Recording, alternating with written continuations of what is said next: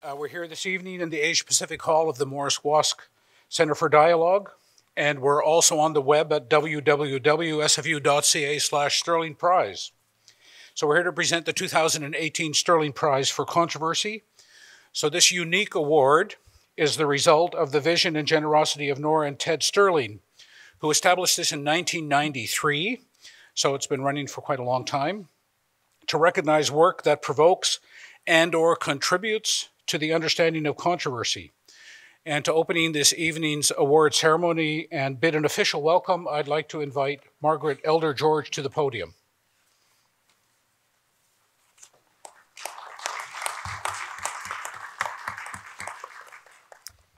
Good evening, everyone. Hello. Hello. Good evening. Thank you. Glad you're here. Awake. Welcome to the territory of the Musqueam, Squamish, and Tsleil-Waututh and the shared territory at Vancouver. And welcome to this evening's um, event. Just a quick prayer and we'll get this event going. Great Spirit, thank you for bringing us together this evening. Just guide us in our words, our thoughts, and our actions, letting us always remember that we are the leaders and the mentors of those who follow us those who witness what we do and what we say. I asked the community and thanked the community for allowing us to do the work that we do and our families for the time that we miss with them. In Great Spirit, just a very special blessing on this evening and a very special blessing on the, on the individuals who make this evening very special for community, all my relations. All yours.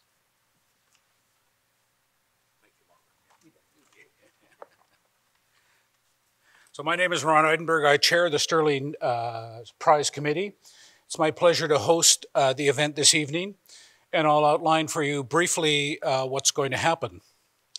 Over the next few minutes, you'll hear about the prize, and I'll introduce Dr. Peter Keller, our academic vice president, uh, who will tell you something about the university's position on this prize and why we do it. Uh, the prize and the accompanying check will then be awarded, and I'll introduce the, uh, the recipient in just a few moments. And there uh, will be a presentation following. Uh, it's going to be very interesting and fun this evening, I'll tell you that right now. Uh, and there will be some time for questions and answers following the presentation. And we should wrap all of that up about 9 o'clock. And following that, there's a reception outside here in the atrium and uh, you're, of course, all invited uh, to attend that part of the evening as well. Now, as I mentioned, the Nora and Ted Sterling uh, established the endowment that supports the prize in 1993. If you've been watching the uh, monitors prior to the start of the ceremony, it was showing you uh, previous recipients of the prize going back all that time. So this from the terms of reference uh, that describe the prize, and this is what Nora and Ted wrote when they established the prize. The Sterling Prize may be awarded for work in any field, including but not limited to fine arts, humanities, social sciences, natural sciences, and education. And if you look back over all those award winners, people uh, from all of those uh, disciplines have uh, been recipients of the prize at one time or another. To be eligible for the prize, the work must be the object of or present a meaningful analysis of the conduct or consequences of controversy. However, the work must be more than simply controversial. It should present new ways of looking at the world, be daring and creative, decidedly unconventional, we'll see that this evening, and distinctly untraditional. In short, the Sterling Prize celebrates work that challenges complacency. But it must also re meet recognizably high standards and be morally, morally and ethically sound. There's a call for nominations each year that will happen uh, in December or January. Those come in, and the committee then meets in the course of the spring and decides by consensus uh, on the recipient of the prize. So the committee uh, that awards the prize is meant to be broadly representative of the university as a whole. Uh, it includes faculty members, staff members, uh, and students. It includes men and women and people of diverse backgrounds. Uh, and I'd be remiss if I did not thank the members of this year's Sterling Prize Committee for their uh, service Most of them are here this evening. Luis Godin is professor of mathematics. He's over here. Jan McLean is senior lecturer in education. Jan sitting over there. Mary Aylesworth is our staff representative. She's in procurement services. Mary is here. Mary, Mary's over here. Hi, Mary. And Vance Williams is professor of chemistry, also sitting over here. So thank you all for your service. And I'd now like to uh, call on Dr. Peter Keller, who's the Vice President, Academic and Provost, to say a few words.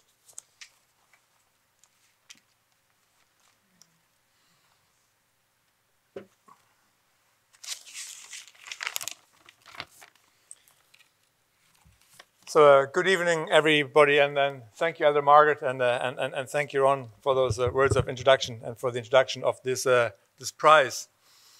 So if you take two words, the word contra, which stands for against, and the word vertere, to, to turn, and you put them together, then you get the word controversy, to turn against. And uh, controversy is, is, a fascinating topic, and uh, it leads to many questions one, could ask. Why do we have controversy? Is controversy embedded in nature? What, uh, what feeds, what, what, what fuels, what drives controversy? Can we imagine a world without controversy?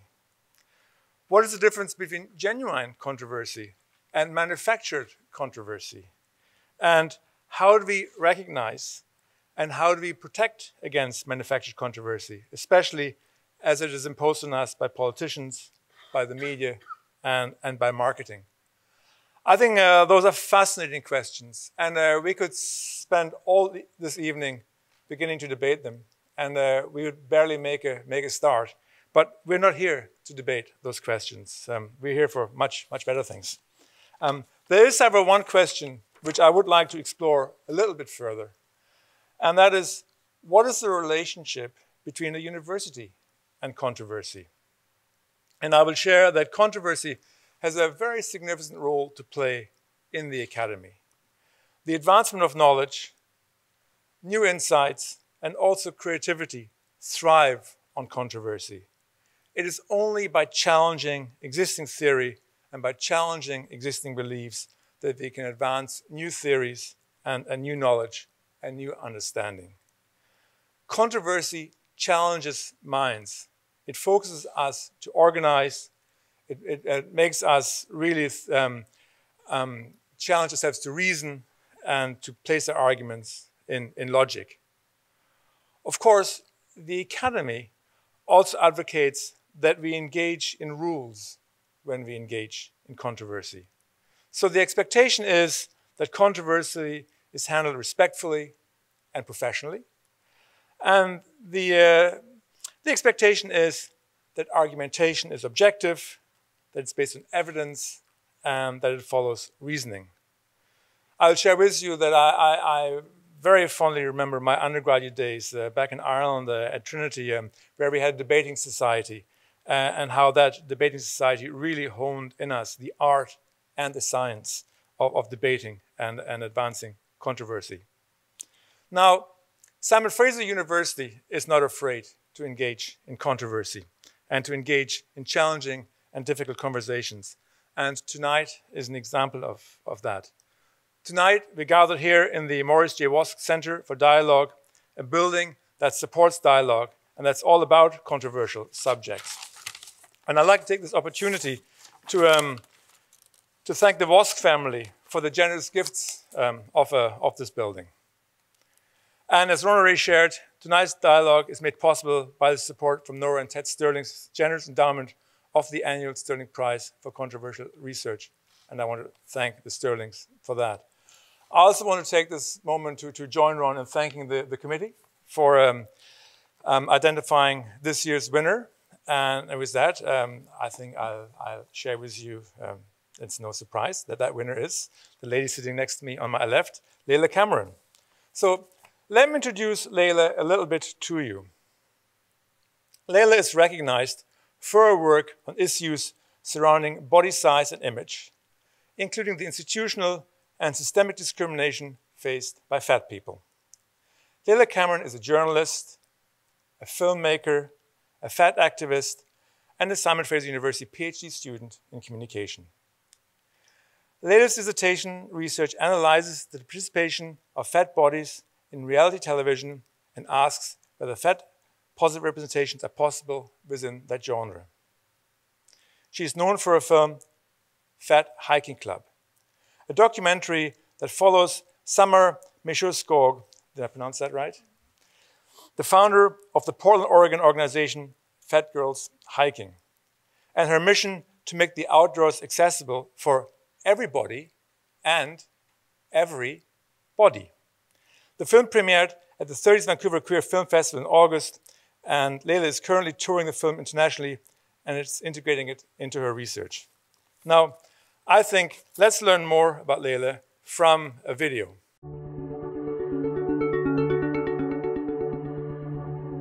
When we look at obesity as a worldwide health epidemic, which is factually incorrect because obesity is not a disease, you can't catch obesity. Um, we legitimize the stigma and oppression of fat people because we see it as something that is either a result of poor lifestyle choices or health threat. Television as a visual medium, it's an industry for the exploitation of fatness as a quote unquote health issue.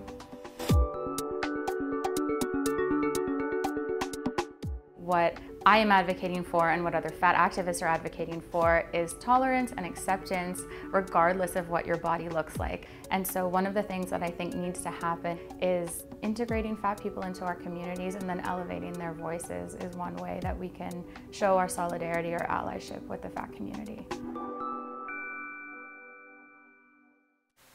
Okay, there you go. Now, up. All right, Ron, I think we're going to hand over the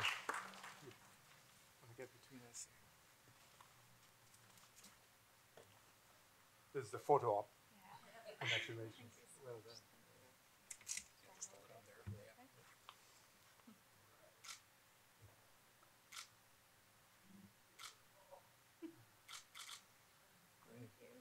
Ron, I think you're going to introduce our two other guests.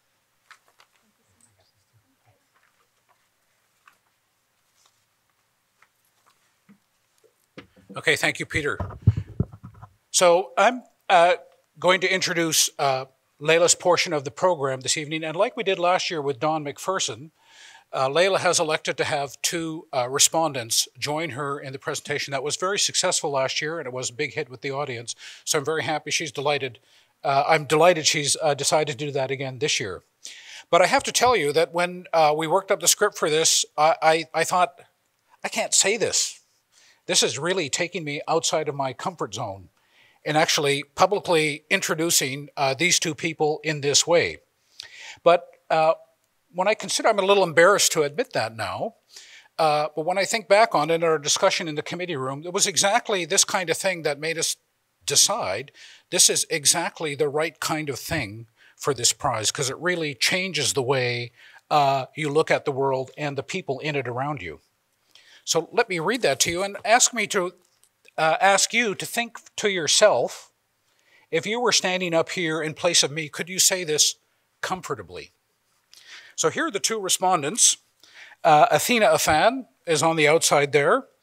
Athena is a fat, bi, cisgender femme settler of Afro Caribbean descent. She is a Metro Vancouver local and has lived here an entire life. And for over a decade, she has supported women survivors of violence and trauma and facilitated several anti oppression workshops for various communities and organizers. Uh, she's a mom, mother of two young children, I'll add that in there. And she's a student at the Nicola Valley Institute of Technology. And Logan Trudeau is sitting over here. Uh, they are a fat, gimpy queer living on the unceded homelands of the Musqueam, Squamish, and Tsleil-Waututh First Nations. They enjoy making things with their hands, spending time with dear friends and community, and volunteering for various events, including Vancouver Folk Music, uh, Music Festival and the Variety Club Telethon of Hearts. So with that, uh, let me turn the podium over to Layla. Please welcome Layla Cameron. Good evening, everybody. Thank you so much for being here tonight. Um, I was surprised at how happy it made me to hear the word fat be said again and again in this setting. I don't think I was expecting to feel that kind of joy after you know, years of identifying as fat and using that word, but I appreciate uh, it being used here this evening. First, I would like to sincerely thank Ron Eidenberg and the Sterling Prize Selection Committee and Peter Keller and the Office of the VP Academic for this incredible honor. I am very grateful for and humbled by this opportunity. Thank you as well to Elder Margaret for welcoming us here this evening. I would also like to thank the SFU Public Square team, including Janet Weber, Nicole Payer, Ian Bryce, Gabriel Colomb, Landon Hoyt, and Katie Wong for all of their hard work leading up to and including tonight. I greatly appreciate all of your efforts. I would like to thank my colleague, Alicia Baines, for nominating me for this award, and my supervisor, Dr. Zoe Druick, who is here tonight, for not only her support and guidance, um, but for encouraging me to integrate fat studies into our work together. So thank you. Uh, thank you to Helen Camisa and Calamity Hildebrandt for supplying the handouts that are at your seats this evening. The zines that have been distributed, so those little booklets, uh, are from Fat Panic, which is an organization actually based out of SFU that has been working for fat liberation for over two decades. Um, it's important to me at this time to also acknowledge that I am what fat activists would call a small fat individual. So this means that while I move through the world as a fat person, I have more privilege than those, than those who are fatter than me. For example, I can usually find clothing in plus size clothing stores in my size, and I usually have an okay time finding adequate seating in public spaces. I am also a white settler on this land, and I cannot speak to the experiences of fat people whose identities intersect in other ways, such as those who are trans or who are people of color. I am very grateful to have Logan Trudeau and Athena Affan here with us tonight, whose presentations provide valuable and critical insight into the diversity of fat experiences. Thank you both very much for being here and for being willing to share your stories. Let's see if this works. Perfect. I don't know if you can read the, can you read the cartoon? Is that all right? Okay. So my area of research is reality television because I just love reality TV. And anyone I say that to usually has a pretty strong opinion about it. They either really love it or they also really hate it. And I think that both opinions speak volumes about who we are as a society and how we view and treat each other. Specifically, I study how bodies are used and represented in reality TV. And I'll talk a bit more about this later, but I've quickly learned that in order to earn anyone's attention when it comes to my research, I first have to assume the role of a public health professional and discuss the medicalization of fatness. And this has been an interesting experience because medicine is not necessarily a closely related field to that of media studies, but I'm going to do my best. I've had to become uh, familiar with public health research so that I'm prepared for the inevitable questions or backlash that most fat studies scholars and fat activists face. Now, I don't feel bad about assuming the role of a medical expert because the vast majority of our society often also assume the role of a medical doctor. you know what I'm talking about. I appreciate it. it's totally fine. Every day, many people think that they can diagnose someone with a disease or a disorder or assume someone's health status just from looking at them.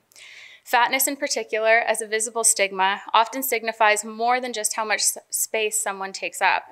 In our culture, fatness is believed to reveal someone's dietary preferences, lifestyle choices, fitness capabilities, level of pride or dignity in themselves, family background, and medical history. When we think about it, of course, it is ridiculous to assume that we can know any of those things about a person just by looking at them. But considering the intensity with which fatness has been constructed as a worldwide health epidemic and how ingrained our fear of fat is in the name of health, I think it is important to first start off with a discussion about our assumptions on fatness and health and the myths that guide medical research on fat bodies. So, why do we hate fat people so much? Well, fatness has not always been pathologized as a medical condition. Historically, larger bodies have represented wealth, abundance, and even good health. For example, during a plague or drought, the thin body signified the diseased body, or it represented someone who could not afford food. As the Western world became industrialized and urban city life developed, the thin body became more desirable in the modern world as the fat body became a physical representation of our anxieties regarding self control in a time of abundance and excess.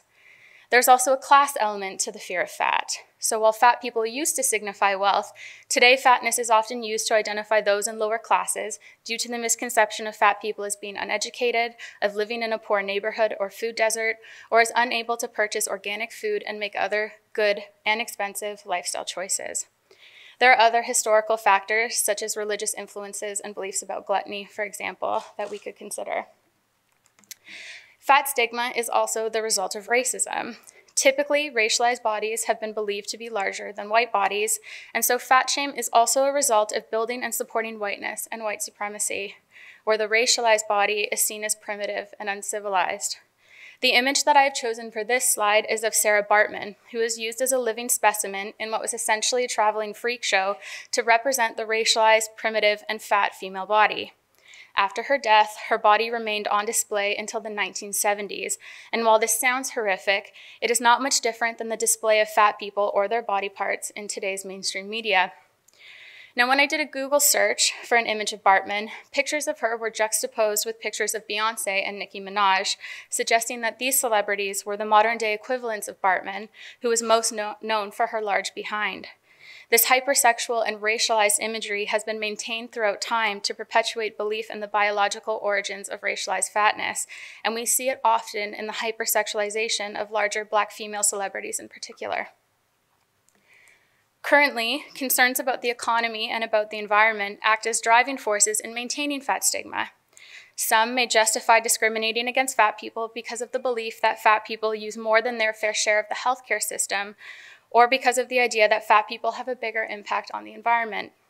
Organizations like PETA use fat shame to advance their cause, insinuating that eating a vegan diet would solve both the problem of animal cruelty in the food industry and the problem of obesity. Today, in a neoliberal environment in which we are encouraged to manage, manage risk and govern ourselves, our anxieties about things like national security and climate change are placed on our bodies. Our physical bodies are a manageable site in which we feel able to contain and destroy anything considered unruly or excessive and need to be ready for us to mobilize in times of crisis or war. While an entire lecture could be dedicated to the historical construction of fat stigma, what I want to show here is that how we categorize bodies according to size is ultimately about control. How we see fatness in a specific context reveals a lot about the political, economic, and social issues of a certain time and place.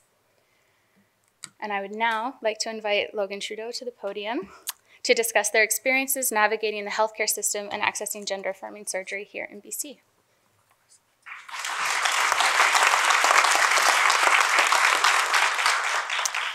Hi there, folks. Uh, as Layla said, my name is Logan Trudeau, uh, and I'm here to talk about the institutional and systemic discrimination that I faced during my gender transition, um, particularly in trying to access top surgery which for those who are unfamiliar with that term, uh, involves a double mastectomy, nipple grafts, and chest masculinization.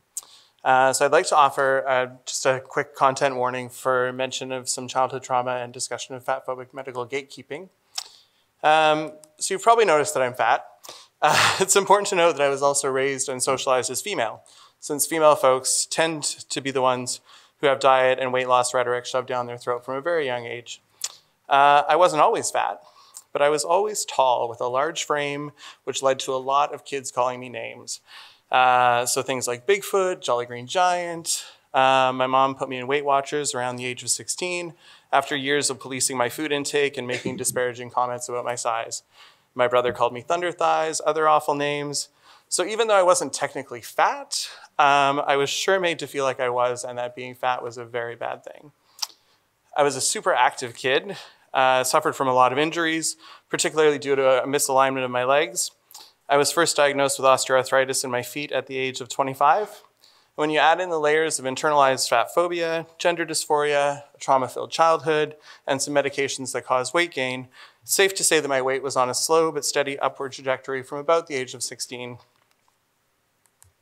when I first started my transition at the age of 17, or sorry, the age of 37, um, I was warned that I would run into systemic fat phobia. Um, in particular, I was warned that I would be required to lose weight in order to access surgery. Uh, I started hormone therapy in October of 2012, and about six months in, my doctor referred me for top surgery. my surgery funding was approved, and I was put on a wait list to see the one and only plastic surgeon that MSP was paying to perform those procedures in BC. So my first consult with this doctor was in February of 2015, uh, two and a half years after I started my transition. The appointment did not go well. He immediately jumped into talking about my weight and did not like that I was not willing to discuss weight loss. He refused to hear about the barriers in my life that made weight loss damn near impossible. Um, he told me that I would not have good results.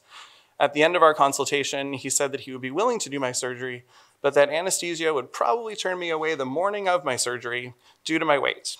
I left expecting to wait at least a year for my surgery date to be set, while also not knowing if my surgery would even happen.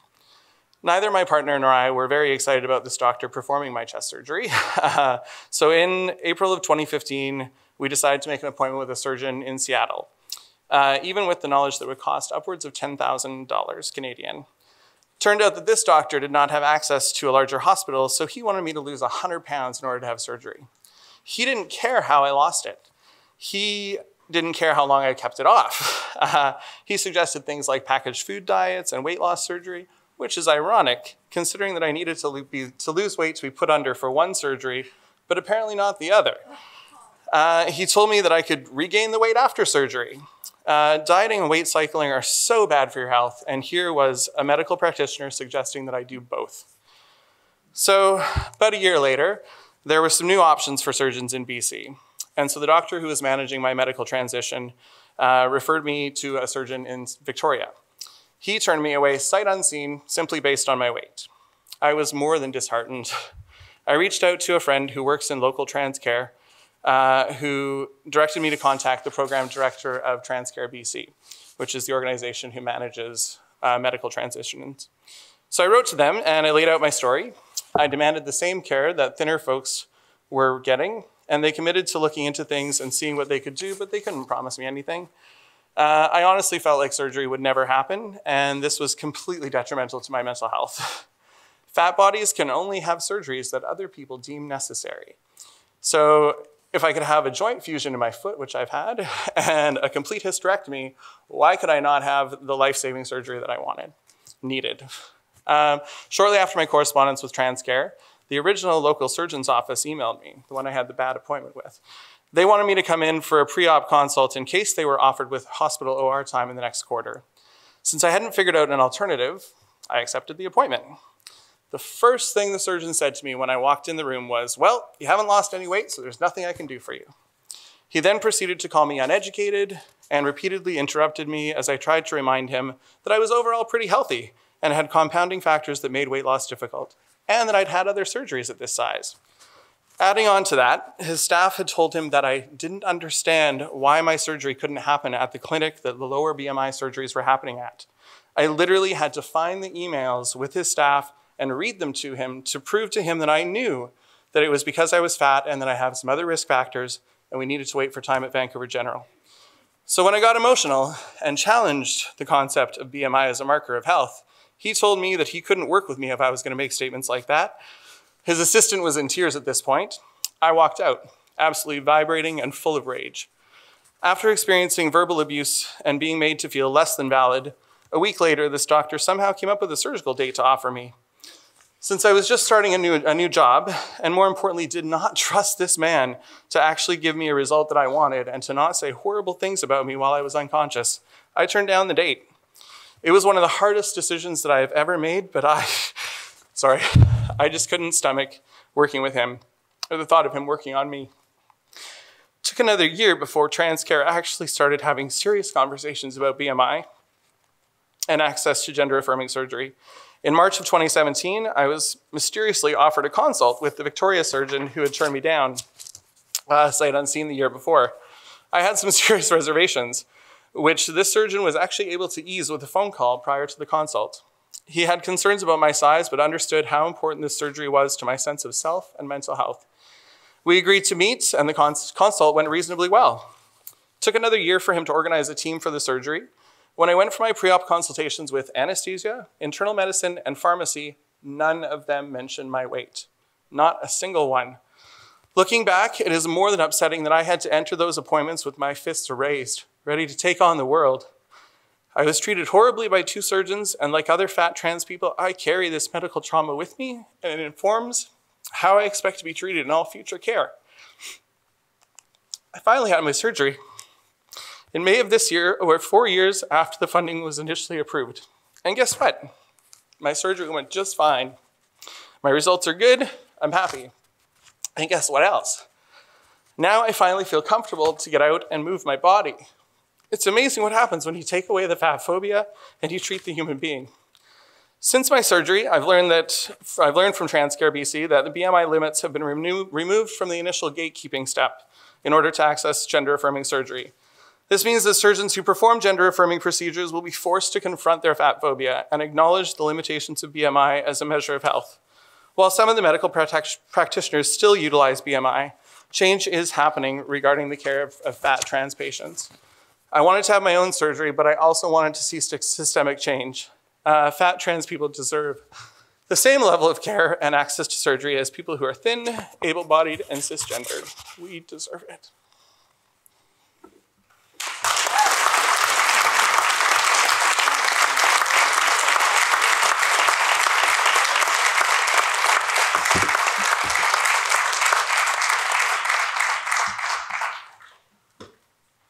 That picture again. oh, no, it's okay. Just in case you forget who I am. Thank you so much, Logan, for sharing your experiences with us this evening. It made me a little emotional. so, fatness as obesity. The word obesity is a medicalized term for fatness, and because of the harm that this term has inflicted on fat people, fat scholars and activists often put this word in quotation marks. So I'd appreciate it if every time I use the O word, you imagine these quotation marks around it. Now, we prefer the word fat because using it reminds us that it is simply a neutral descriptor, similar to the words like short and tall. And before using the word, and because using the word fat aligns our work with the fat positive movement. The amount of attention that the obesity epidemic receives indicates a dramatic increase in weight statistics when this hasn't actually been the case. The actual percentage of Canada's population that is categorized as overweight has only increased by 10% since 1970, and Canadian obesity rates are even starting to plateau. We are continually warned that being fat will kill you, despite the fact that life expectancy statistics have also gone up. Yes, people are getting fatter, but they are also living longer than ever before in human history.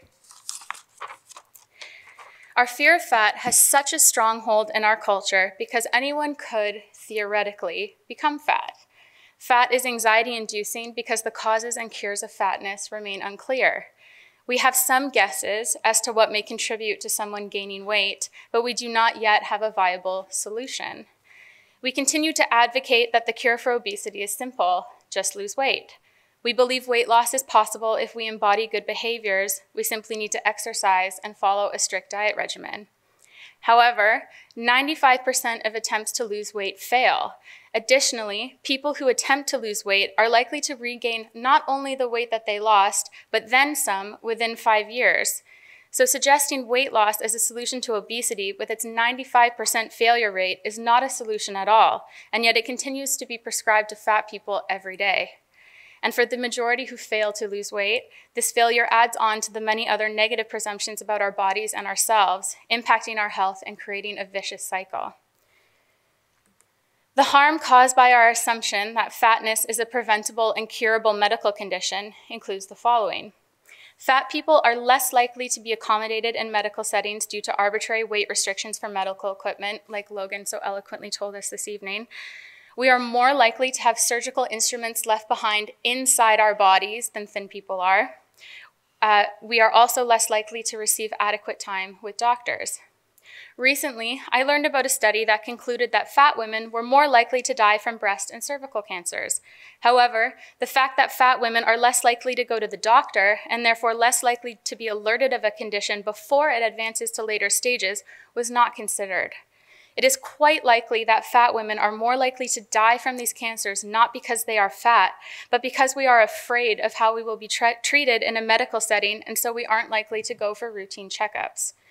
Last year, I came across a published peer reviewed journal article that sought to find long term weight loss solutions for fat people by studying the behaviors of people with anorexia. We live in a world where we encourage fat people to develop eating disorders because it is better to have an eating disorder than it is to be fat. Ironically, fat people are more likely than thin people to already have eating disorders, and so the equation of thinness with disordered eating is also false. Currently, there are BMI restrictions for those who want to adopt a child, and fat people can be re refused in vitro fertilization treatments. To me, this is akin to a eugenics movement, as the only logic behind these restrictions is that fatness is believed to be a biological or environmental risk, concluding that fat parents will automatically result in fat children. The goal of enforcing these restrictions is simple. Refusing fat people the right to reproduce is believed to build a future in which there are no fat people. And I want to add here that in popular culture, visualizations of utopian societies usually do not include a single fat body. As a PhD student, the following statistic was particularly concerning for me. Fat professors receive lower student evaluations, and 93% of human resource professionals have said they would hire a thin person over a fat person with the exact same qualifications.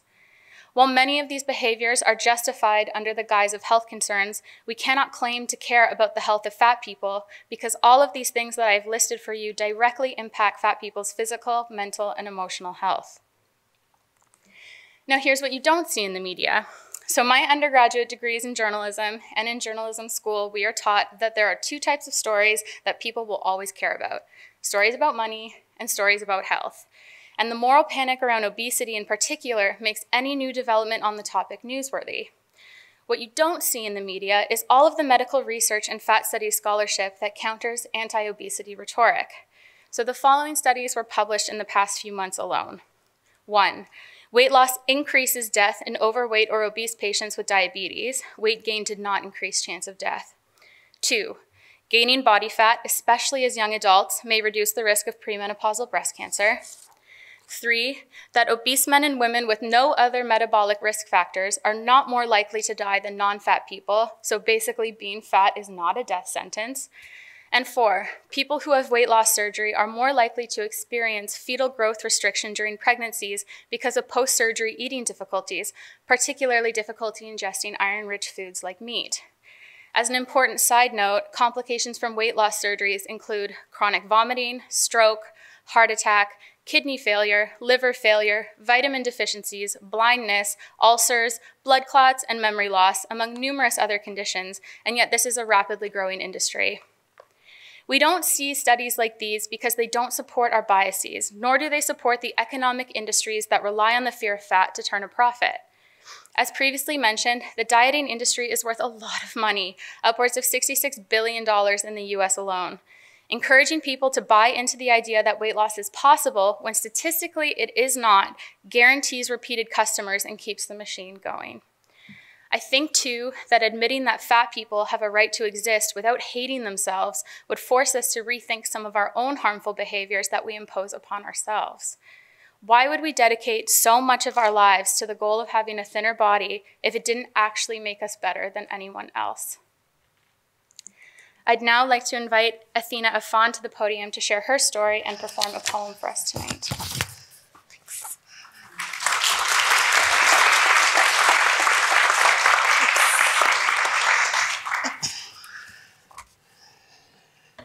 Just making sure this thing works.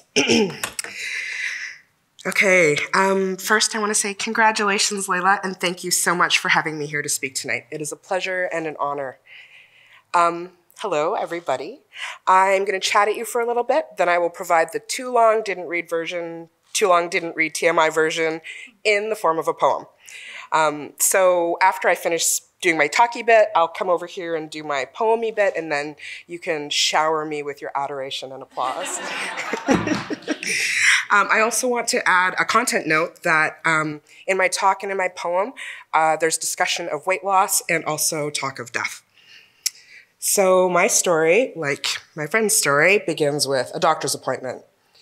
For many fat folks, the medical system is where we experience the most healthism, sizeism, and fat hatred. Sorry, I forgot my slides, so I'm just gonna put it up there. Make it go. There we go. I don't know if you can read it, but that's good. Um, now, don't get me wrong, some health professionals see beyond the size of my body and engage with me as the whole, thoughtful, intelligent person that I am, but this is not the norm. Actually, the fact that some practitioners can treat me without making the ubiquitous fat diagnosis kind of makes me think that the negative experiences are a result of practitioner bias or worse, willful ignorance. Anyway, the doctor I was seeing was supposed to assess my case and then recommend me for a sleep study. Things went from bad to worse when I told him my weight, something that I don't always do, because he started in with the usual you should lose weight lecture. Understand that while I do believe that I can make lifestyle changes that might improve some aspects of my health, weight loss goals are not an option. I tried explaining that a few different ways but got nowhere. Just to see what he would say, I said to him, So, in your medical opinion, how do you lose weight and keep it off? His response was that I should eat less and get some exercise. Oh, and that I don't have to worry about fat anymore. Fat is okay. Yeah, right. For those of you who haven't heard this firsthand, fat people are very aware that people think that we should lose weight. The information that our bodies are wrong is everywhere. So, is it any surprise that some of us have tried it? In fact, many of us, not all, have spent large portions of our lives dedicated to dieting, exercising, and becoming experts at counting calories and carbs and sugar and fat. Over the course of my life, I've been on more diets than I can recall, and I have lost hundreds of pounds. This is not an exaggeration. I counted one time when creating positive affirmations for weight loss attempt number 23. Furthermore, as Layla said, research indicates that 95% of people who engage in weight loss attempts have regained weight within two to five years. So when medical professionals suggest weight loss and oversimplified weight loss strategies as though I've never considered it or without knowing my lifestyle, then that isn't medical concern. It is intrusive, shaming, and insulting. Oh, geez, slides. yeah. Oh, I think about. It. Anyways, back to the moment with the doctor. My face got hot. I began. Oh, sorry. I'm off. Back to the moment with the doctor. My face got hot. I began to tremble. I had a vivid fantasy of standing up and saying something like, "You'll have to excuse me, doctor, but I'll have to end the appointment right here. You see, I don't believe we can work together. Thank you for your time." I didn't say that. In the fog of feeling, I just said to myself over and over, just get the referral, you don't have to come back. Just get the referral, you don't have to come back. When I finally found my way back to my car, one thought was clear and present in my mind. Why, I thought, why do I have to trade my dignity for healthcare? Once I started thinking about it, I realized that dignity is the everyday price I pay to exist as a fat person in a sizest, healthist, and fat hating world. This is not the only problem or the worst problem that fat people face, but it is a persistent and endless problem. In some ways, it's like I have an, an ongoing invoice that just keeps growing, a bill that will never be paid in full. Take this, for example. Let me see what I got here. Sorry about my slides. a couple of weekends ago, I went to a play at a local theater. I've been to this theater a number of times and hadn't had any problems. Well, besides the typical discomfort I face because most theater seats aren't built for my body. But this time, when I made my way to my assigned seat, I found myself facing a tiny space between a pillar and a railing that I needed to squeeze through to get to my spot. So I took a deep breath, gathered some momentum, and started to force my body through the gap while trying to look like this is what everyone was doing. When my friend said to me, Don't do that those seats aren't accessible. As I let her lead me to another spot, I still found myself sussing out another opening that I could potentially crawl through to get to the spots. Squeezing and forcing my body places is an everyday occurrence. In and out of my car, into chairs and tables at restaurants, past tables at school, theater seats, past people in public spaces, in my home, on transit, in the toilet. And that's only if I really have to go because sometimes peeing is just not worth it. What saddens me about this is that I didn't invite my fat friends to this show because I knew that those seats would not accommodate some of them at all. And there was an amazing, brilliant fat actor in that show, too. I cannot imagine that crawling, squeezing, and selecting friends by size is a typical Friday night for most people, like it is for me. Add that to the bill. Item, Friday night out. Cost, sizeism, and dignity. But this has been happening my whole life. Let me go back a little further. When I was young, I started menstruating earlier than expected. I was also one of the tallest girls in my class. My mother was a little concerned about my rapid development, so she took me to the doctor who referred me to BC Children's. I vaguely remember doing a bunch of different tests that ended up being inconclusive. I clearly remember coming home with my first diet. I can still picture the little diet book itself a small three ring binder filled with tiny words and colorful pages of meals and measurements, as compact and tidy as it promised that I would become. There were so many things in that book that were completely different from my regular diet cottage cheese, canned fruit, no seasonings. The thing is, my family is from Trinidad. The foods I ate at home every day were delicious stews and curries served on rice, all prepared from scratch. No wonder I was given responsibility of that book. My parents didn't have a clue what to do with it. It has taken me a while to realize it, but those colorful pages reduced me, all right. Not only did they inform me that my body was wrong, but they also told me that the food I ate, my cultural foods, my culture itself was wrong. I was 10 years old. Item, a mother's concern for her child. Cost, sizeism, racism, and dignity. This bill has many items on it and it continues to grow daily because dignity is the price that I pay as a fat person in a sizist, healthist, and fat hating world.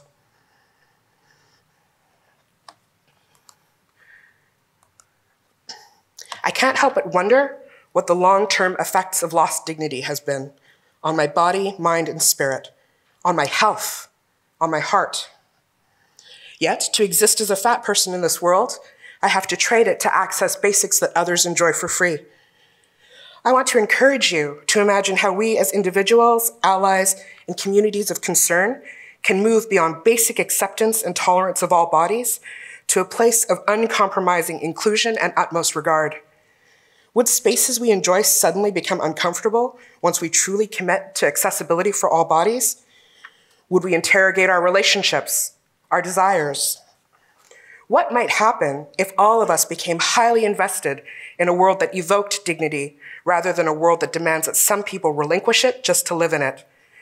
When I think of the work of scholars like Layla, fat activists, and folks like myself and my friend Logan, for whom this work is what we must do to survive, I believe that this world can exist someday. And I hope that something you hear this evening makes you willing to believe in it and fight for it too.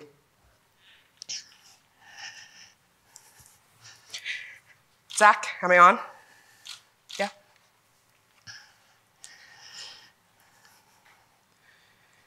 This body is your worst nightmare. This body is not worth clothes that fit or a chair to sit in that won't break beneath the gravity of this situation. This body takes lives. It is both symptom and disease. It will kill me someday, the doctors say, as though their bodies were somehow immune to the entropy of nature and time. And some children, adults, youth, rest in peace, die of restriction, overexertion, poison, and starvation out of fear of this body. This body must not bear children because any seed planted in the crucible of this body will twist and rot on the vine, or worst case scenario, be born in the perfect image. And if that should happen, they might take those children away because this body cannot be trusted, obviously. Speaking of sex, this body is not desirable unless you desire to laugh at fat tits and a fat ass or this fetish of being smothered under pounds of flesh what am I saying? This body probably hasn't even had sex. This body is black. And even though slavery is over, everyone knows that this body, this color, and this gender continues to serve forced labor, physical and emotional. This body is angry, but this body is invisible. This body is a threat, the recommendation war, and then amputation with the intention of complete and utter extinction, because this body must be stopped at all costs. But I won't stop because this body is desirable and this body desires any gender under the sun or none. And this body loves more than one. And this body has birthed two beautiful children, love and courage, who hold the power to transform this world into a place where this body is respected, where all bodies are respected, revered, and held as sacred. Yeah, I'm carrying some weight, the weight of past, present, and future. But this body, your worst nightmare, could hold the key to all of our wildest dreams.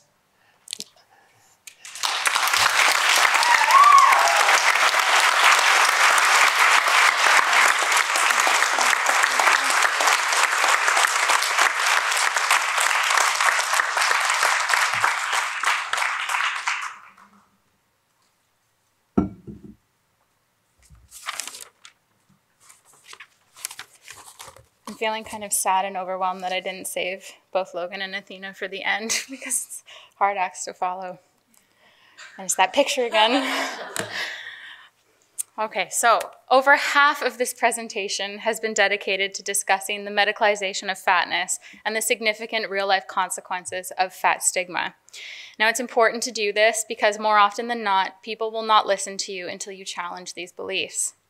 But I want to take a moment now to address the elements of healthism in this conversation. Yes, we have just spent a very significant amount of time emphasizing that being fat is not always unhealthy.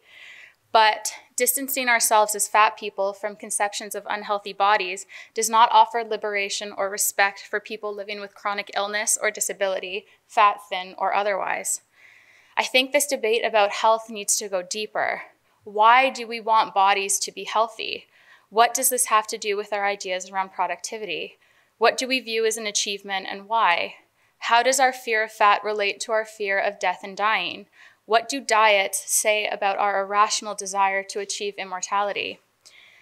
Well, it's important to recognize that fat bodies can also be active or fit or healthy. It is important that we not rest our dignity and humanity or our access to basic human rights on this idea because then we alienate fat people and others who may not be any of these things. And now we get to talk about my favorite, reality TV. Um, as I said, I love reality TV, but it's also ripe with content about fat stigma. So, fat people on traditional reality TV. There are three subgenres of reality TV that have particular uses for fat bodies the competition, the makeover, and the voyeuristic documentary, or what I am calling here the sick and dead. In the competitive reality show, fat people are used to signify the before picture, or the individual who is in desperate need of transformation. In a competitive setting, fat people are often pitted against each other to see who can achieve the most drastic transformation. The biggest loser is perhaps the most successful example, although the show has recently been taken off the air when past contestants claim to have been abused while filming the show. While acknowledging that the name of the show is meant to insinuate that fat people are losers who also need to lose a massive amount of weight, the biggest loss is often paid by the contestants themselves. While some may win money or 15 minutes of fame, the lifelong impact of short term drastic weight loss is only just beginning to be revealed as more and more cast members go public with not only their inability to keep off the weight, but also the health problems they have experienced since being on the show. What competitive and transformative reality shows insinuate to the audience, however, is that weight loss, something that we are all supposed to want, is possible if you push yourself hard enough. The makeover genre of reality television is an especially important governing tool as these shows carefully instruct audiences how to improve themselves, not only for their own good, but also for the betterment of their communities and of the nation. Not only our bodies, but also our homes, our neighborhoods, careers, and cars serve as sites of transformation within this subgenre in order to dictate to audiences what constitutes a desirable and valued way of life. This example on the slide is particularly heartbreaking to me. Pictured here is Mama June, the matriarch of the household in the hit TLC show Here Comes Honey Boo Boo. I wrote my master's thesis on the show, arguing that it was one of the first truly feminist reality TV shows which you can ask me about that later if you would like. Now, the picture on the left is from when Here Comes Honey Boo Boo was on the air. throughout this show, Mama June often proclaimed that she loved herself and she loved her body. She was my hero as she advocated that everyone should love their body and as she shone light on food poverty, class issues, and racialized stereotypes in the American South, whether she knew it or not. Recently, Mama June received her own spin off show, the show focuses on how she rapidly earned a revenge body through surgeries and other interventions just in time to crash her ex husband's wedding. Needless to say, I will not be publishing my master's thesis anytime soon, but it goes to show that even the most radical, confident, and self loving people are vulnerable to the exploits of the television industry and to the pressures placed on fat people. When fat people are not being, being made over or pitted against one another in competition, then they are used in reality TV as extreme warning signs to the general public. The image here is from the BBC show Obesity Postmortem, in which the dead body of a fat American woman was dissected to visualize for the audience fatness as a life threatening condition. Not only are these types of shows incredibly violent and traumatizing, they also completely decontextualize and dehumanize the subject. My 600 Pound Life is another example of a show that projects fat people as sick and dying. On this show, a camera crew follows people who are 600 pounds or more as they seek weight loss surgery at a clinic in Texas. By focusing only on these individuals, my 600 pound life inevitably infers to the audience that situations like these happen more often than they actually do. And while the use of talking head interviews and therapeutic interventions acknowledge contributing factors such as systemic oppression, trauma, and abuse, the solutions pushed by these shows remain the same. It is up to the individual to lose weight by any means necessary, or else they will die. Now, the reality television industry has only recently begun to embrace body positivity. However, fat people are not quite off the hook in this subgenre, as fatness is coupled with either good health, impressive levels of fitness, or some kind of explanation that rids the person of responsibility for their size. One of the or one of the strongest examples of body positive reality TV is TLC's My Big Fat Fabulous Life. Whitney Way Thore, the star of the show who's pictured here, is a dancer with polycystic ovarian syndrome. Her career as a dancer, paired with her illness, excuses her fatness because she is both fat and active and fat and sick. Her happy and confident demeanor somewhat relieves Whitney of responsibility for her size, and she is a relatable and comforting figure for the audience. However, throughout the show, her parents and other medical experts, along with concerns from her friends, continue to remind Whitney that weight loss and other lifestyle changes would help her in the long run, and so she is never truly free to be happy with her body as it is.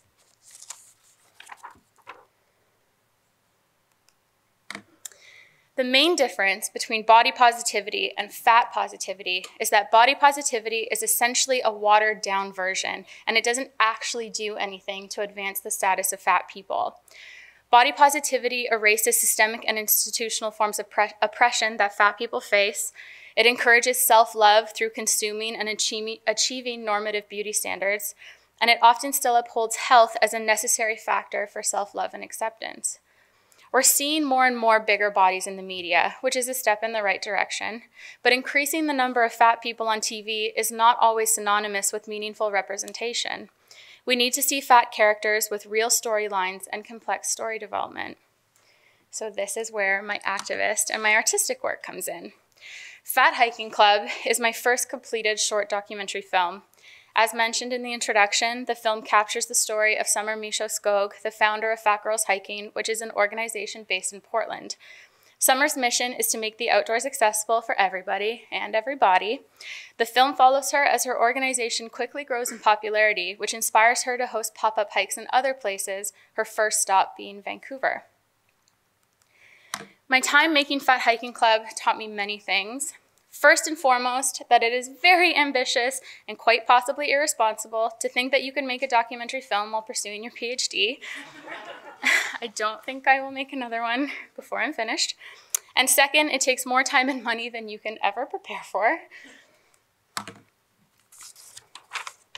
Third, that not all feminists are sympathetic to or even familiar with the fat positive movement. Now, during the crowdfunding stage of production, I posted about the film in a Facebook group for women identified feminists who work in media in Vancouver. I was asking whether I should use Indiegogo or Kickstarter as a funding platform. Now, instead of answering my question, I was criticized for using the word fat in the title of my film and accused of making a film shaming women about their bodies. Now, I was shocked that anyone thought that I would make such a film as a dedicated member of Vancouver's feminist media making community. So I decided to leave the group after my post was removed and my question remained unanswered. And for anyone who cares, I went with Indiegogo. I don't think it really mattered at the end of the day, but that's beside the point. Even at recent events like the Women's March, there were protesters carrying tongue in cheek posters that read, Does this sign make my ass look fat? Now, Donald Trump, for all of the evil things we could hold against him, is often shamed for his body before his politics by people who are more likely to be open to the fat justice movement. And it is so disheartening and exhausting to realize that even the social justice warriors of the world hate fat people. Fourth, I learned that your roles as both a filmmaker and an activist will often come into conflict with one another. It was difficult to satisfy both the aesthetic and practical demands of filmmaking and the aims of fat activism. For example, visualizing a climb up a mountain in a short amount of time often involves things like bottom up shots or close ups of sweat dripping down someone's face or sounds of heavy breathing, which are all tactics used by the mainstream media to depict the abject nature of fatness. Some of the other things I had to consider while making the film include Am I contributing to the idea that fat bodies are okay only if they are physically active? Are the hikes that we filmed accessible to people with disabilities? Am I watering down the complex feelings of hiking while fat by filming someone overcoming their fat oppression by both literally and figuratively climbing a mountain? And during the pre production phase, I was approached by a potential corporate sponsor, and this company was a travel company. So I had to ask myself, what does sponsorship from a travel company mean for this film? Does this travel company work with any businesses, such as airlines, that discriminate against fat people?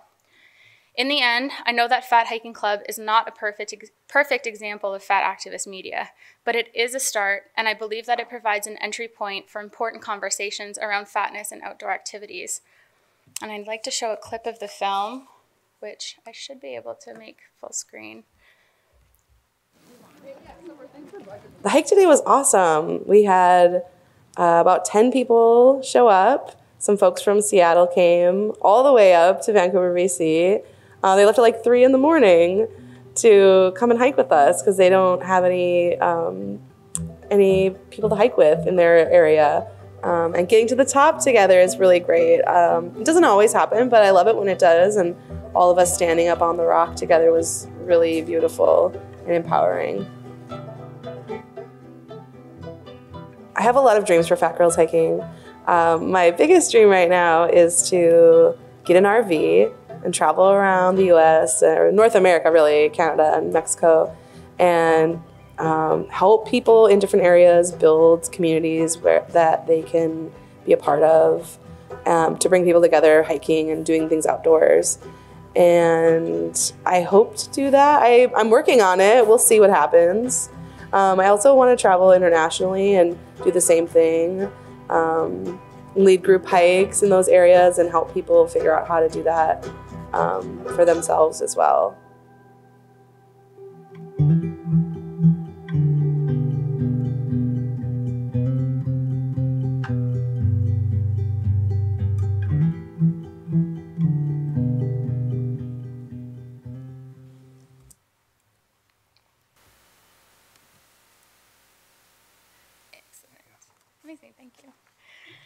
Um, I also want to just give you an update on Summer from the film. As of last month, she's now touring North America and setting up Fat Girls hiking chapters all over the east coast of America and Canada. And I'm very, very proud of her and very excited to see what happens next for her and for the organization. I'm also obsessed with the drone shots in our film, which is partly why I chose that clip. And so I also want to acknowledge Danny Easton of East to West Productions, who worked really hard on Fat Hiking Club and made it happen. Now, I want to end this presentation with a slogan that came from an outdoor recreational camp for fat folks called Wild Abundance Expeditions. I attended their camp in Washington State two years ago. At the beginning of the retreat, our group collectively came together to determine a set of community values and rules that would shape our weekend together. One of the things that we came up with was that there would be no fatty left behind. You might have seen it on the back of my t shirt in the clip that I just showed you. What this slogan means is that regardless of someone's health status, ability level, personal interests, size, or dietary preferences, every person in our group would be respected and would be included in any of the activities we were going to be partaking in. If someone wanted to participate in an activity like the high ropes course or sea kayaking, then we would figure out a way to make that possible. It has become a mantra that I follow in my academic, activist, and other professional work. In future conversations you might have about this presentation or about body positivity or even about reality television, I hope that you will also strive to leave no fatty left behind. Thank you all very much for being here, and thank you again to Logan and Athena for your presentations. And I believe we've got about 20 minutes for a Q&A, and then I hope to see you at the reception afterwards. Thank you very much.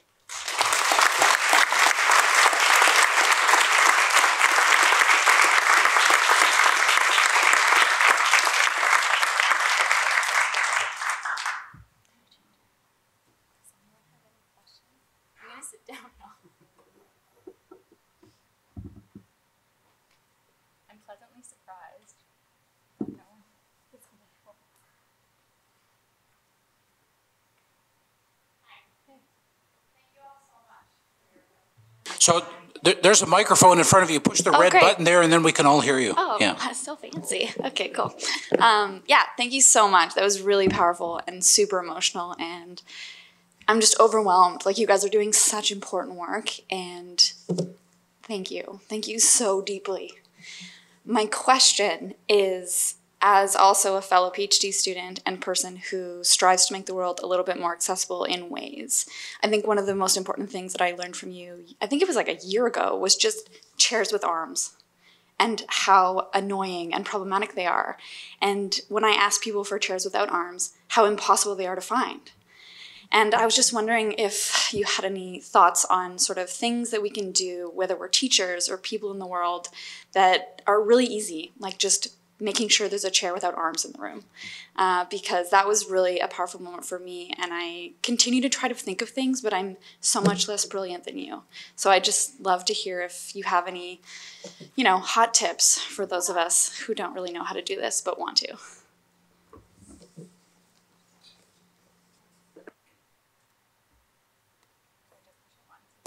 Oh, it's on. Um, the only thing I can think of, uh, I mean, it's it's about accessibility in general, right? It's not just about fat people; it's about everybody. Um, we all have different accessibility needs. I remember um, when I was doing my coursework, I read a book on fat activism and the different kinds of fat activism. And the author, named Charlotte Cooper, suggested that you could be an activist within your own home and you could just make your home fat friendly. So making sure that you know your doorways your bathroom your couch is accessible and i remember i was sitting in my living room reading this book and i was so uncomfortable because it had never occurred to me that i could be comfortable in my own home i think it's so ingrained in us that we just should accept what we get or what's easy and for something that's so simple and so straightforward and that a lot of people take for granted I was disgusted with myself that I had allowed myself to live in an uncomfortable space. Um, I mean, I think too, it's important to just ask people, ask people what they need. When you host events and you have an RSVP link, put a little box that says, How can we best accommodate your body? Um, because there are, like you said, there's always going to be things that we can't think of or we can't predict, but that we should be prepared for. Um, other than that, like, I don't know, burn down chair factories that don't make chairs without arms. I have no idea how to like get the message across because you're right, it's next to impossible. Other like I find too, if you ask for chairs without arms, you get like folding chairs, which like as a fat person, my worst nightmare is to sit down on something and have it collapse. And it's happened. And you are expected to just laugh it off when it's probably it's just like public humiliation. So I don't know, you heard it here first, burn it down.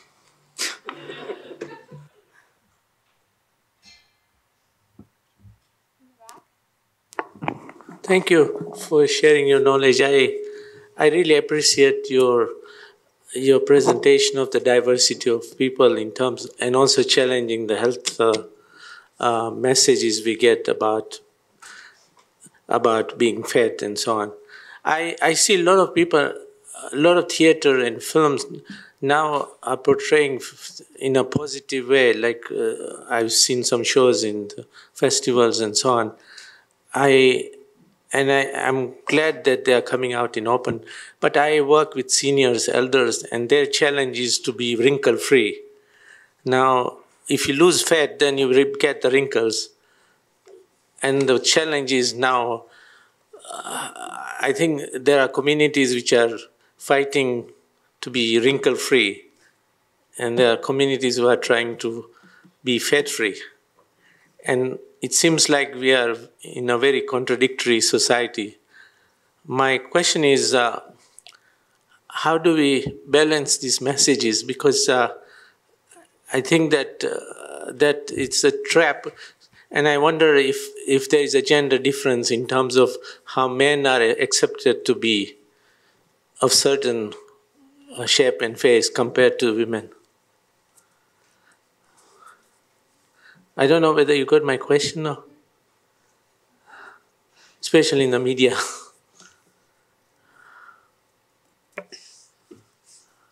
Um, maybe I'll start and maybe Layla will finish. But I think that there's, um, and Layla spoke to it a little bit, an obsession with um, kind of like immortality and health. Like, I think that our society almost fetishizes those things. And I think that upon further and closer examination, they are at odds with each other because, of course, we cannot obtain immortality. It's impossible.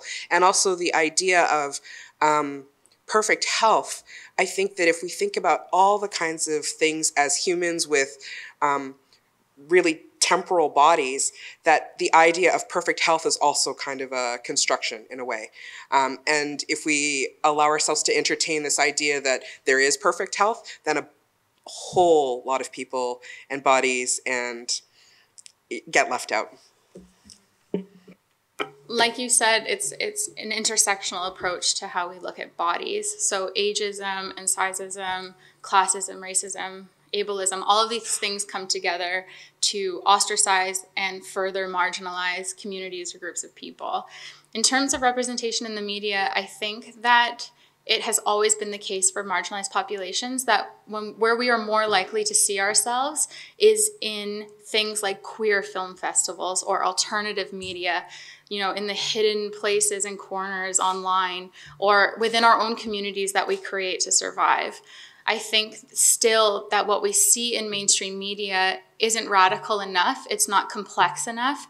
You know, shows like This Is Us, which are so successful and have fat characters, the fat character still has the same storyline. The male fat character wears a, a fat suit in order to like visualize fatness. So I think that what we need to do is open up mainstream media and mainstream conversations to the conversations that marginalized communities have been having for decades in and amongst themselves because at this point it's not us who need to see these representations it's everybody else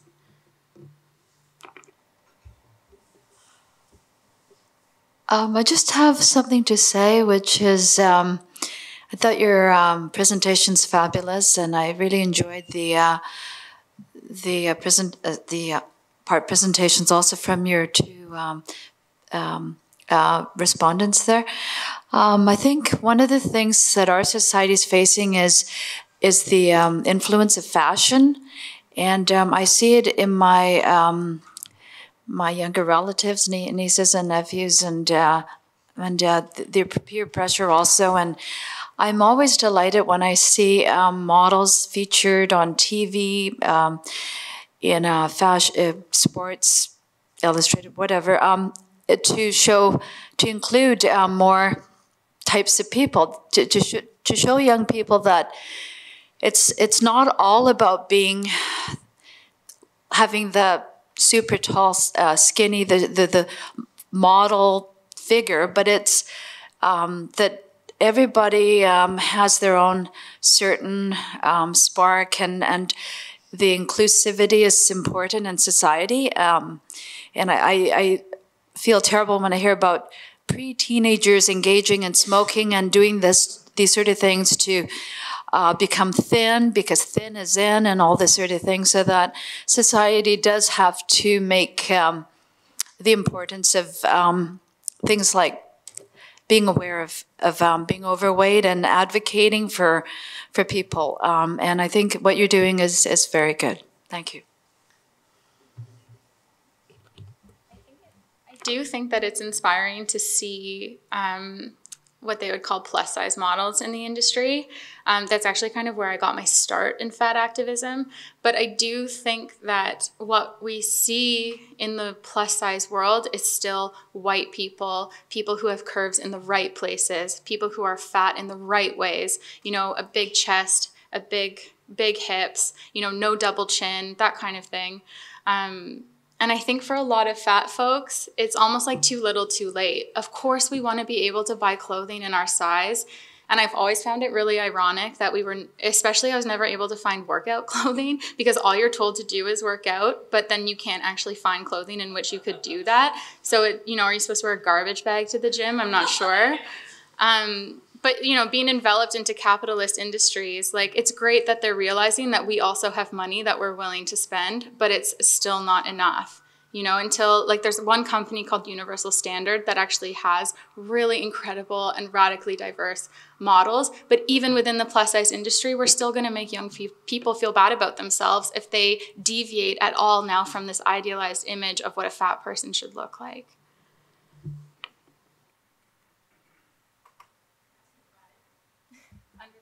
Oh, it worked. Okay. Um, thank you to all three of you, um, first of all, for this presentation. I really appreciate the complexities and the nuance that you brought from all three of your perspectives. Um, Layla, I just wanted to ask I'm also a PhD student and have experienced the tensions within academia doing controversial work. Um, and I know that you have experienced some backlash from community groups um, and the public, so to speak. But can you speak to any of that uh, taking place within academia itself? Yes.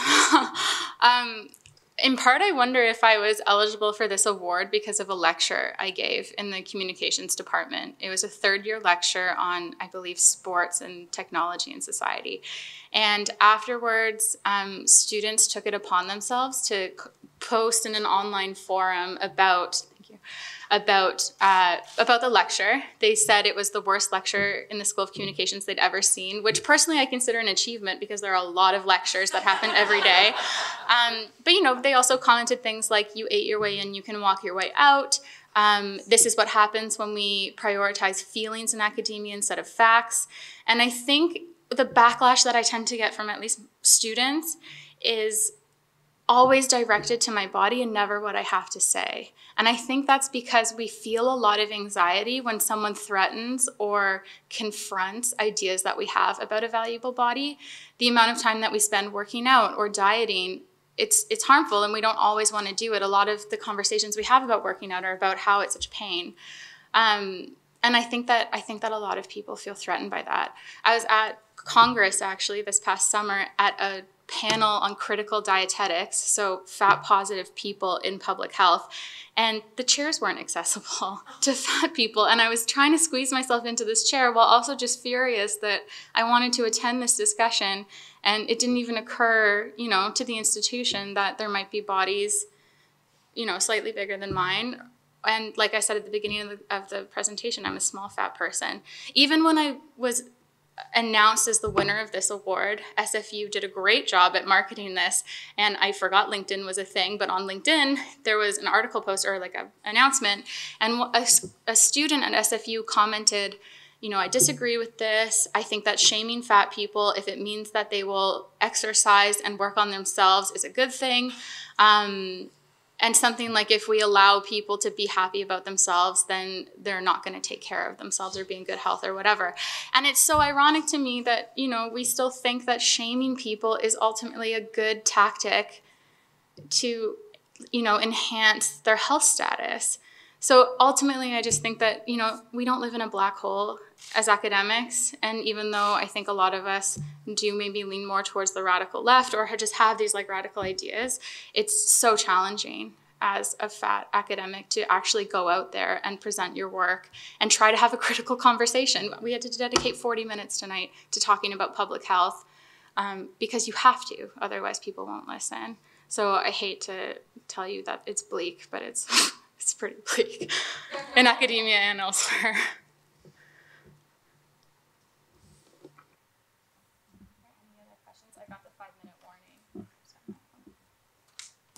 Uh, since we're busy patting ourselves on the back for giving you an award, uh, what would you change about SFU if there was one thing to make our campuses more welcoming, accessible places?